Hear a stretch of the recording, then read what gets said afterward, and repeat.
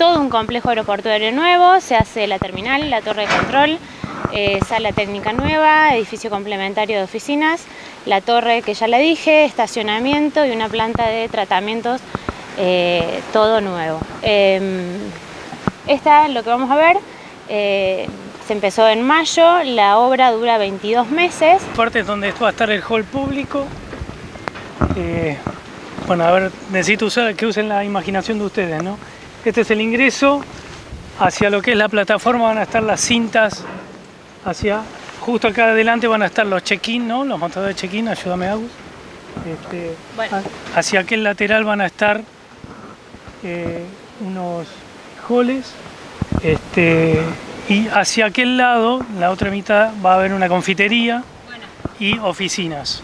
El eje 5 el eje 9 compete eh, la sala de arribos, que contiene el sistema de VHS o las bandejas porta, por equipajes, eh, contiene tres check-in que van a ser la primera etapa, eh, contiene dos ascensores que futuramente va a ser el arribos, pero eh, en, la parte de traspaso o en la primera etapa funcionan como elevadores para la sala de embarque, para el segundo nivel.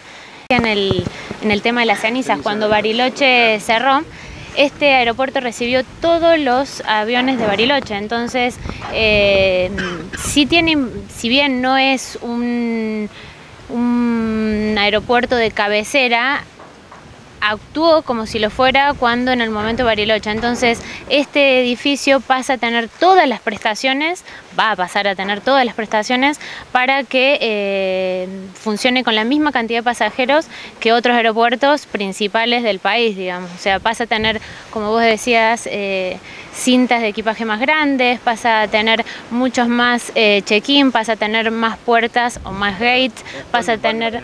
no hay posibilidad de desarrollo si la gente no está conectada. Sí, no, yo aparte creo que lo jerarquiza, porque un reclamo histórico que hay de los turistas cuando vienen es justamente el aeropuerto, el poco espacio. No, no, llegás acá, vos, una, de las cosas que me dijeron a mí, yo pido en Buenos Aires todas las líneas aéreas, tráeme aviones más grandes, tráeme más gente.